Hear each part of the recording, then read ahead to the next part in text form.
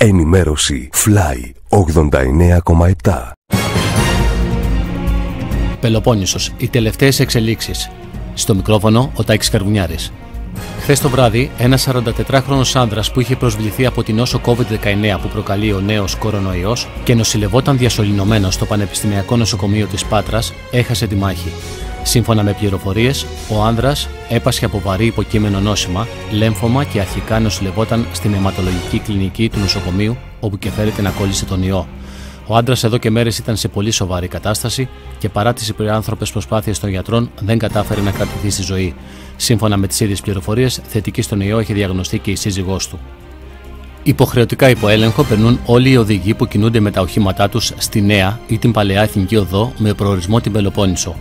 Στην περιοχή της Κορίνθου, λίγο μετά τον ισθμό, η Ελλάς πραγματοποίησε ελέγχους σε διερχόμενα κυρίως αυτοκίνητα και μικρά φορτηγά, ενώ τα μεγάλα φορτηγά των μεταφορικών συνέχιζαν το έργο τους χωρίς καθυστερήσεις. Αστυνομικές επιχειρήσεις και συλλήψεις στην Πελοπόννησο. Ναρκωτικά, όπλα και κλοπές στην Κορινθία.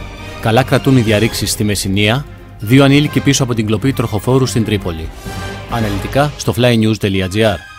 Εντολή εκταμείευσης συνολικής πίστοσης 244.000 ευρώ περίπου ευρώ προς το Περιφερειακό Ταμείο Ανάπτυξης της Περιφέρειας Πελοποννήσου, υπέγραψε ο Περιφερειάρχης Παναγιώτης Νίκας. Η δαπάνη αυτή προορίζεται για αποπληρωμή έργων, μελετών και υπηρεσιών.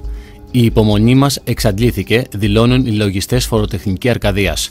Επιστολή στον Υπουργό Οικονομικών Χρήστο Σταϊκούρα, τον Υπουργό Ανάπτυξης και Επενδύσεων Άδωνη Γεωργιάδη και τον Υπουργό Εργασίας και Κοινωνικών Υποθέσεων Ιωάννη Βρούτσι.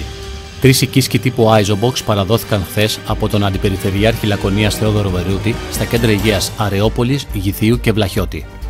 Συνδιάσκεψη για την οχέτα ηγέτου με τους Δήμους Καλαμάτας και Σπάρτης. Απάντηση Δήμου Τριφυλίας για την διακοπή εργασιών στην Άνω Πόλη. Διακοπές ρεύματος σε περιοχές της Λακωνίας λόγω βροχόπτωσης. Ανέλαβε καθήκοντα η ογκολόγος στο νοσοκομείο Καλαμάτας. Ήταν οι τελευταίες εξελίξεις μέχρι αυτή τη στιγμή στην περιφέρεια Πελοποννήσου.